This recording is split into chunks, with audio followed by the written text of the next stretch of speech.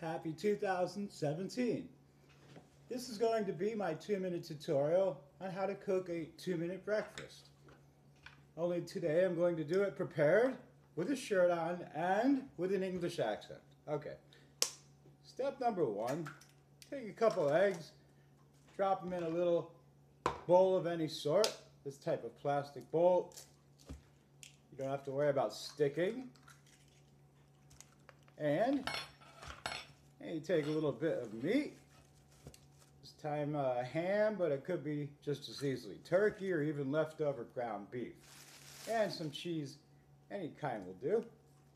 Good thing about the two minute breakfast is you can even take leftovers like these stuffed mushrooms. Oh, stuffed mushrooms and drop them in as well. From last night, it was New Year's Eve. Okay, mix it together, scramble the eggs, and voila, you shove it in the microwave. Two minutes. Notice that it is a two minute breakfast and I'm microwaving the eggs for two minutes. So how's that math going to work? Well, halfway through I'm gonna pull them out. Okay, whilst the eggs are cooking, you can take the time to put all your ingredients away.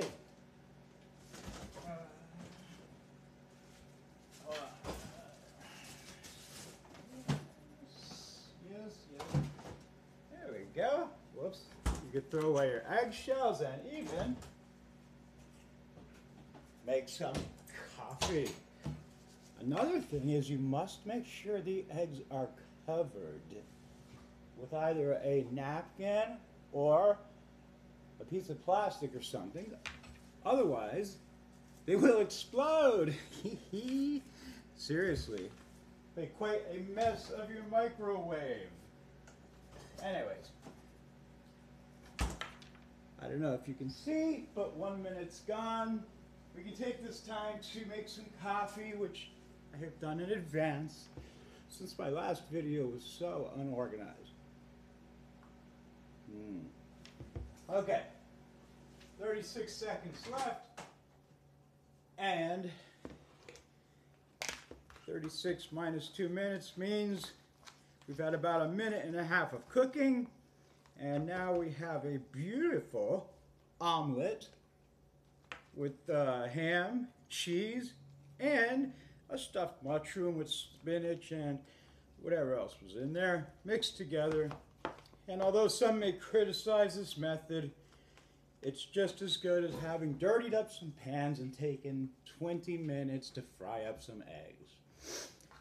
Happy 2017 to all.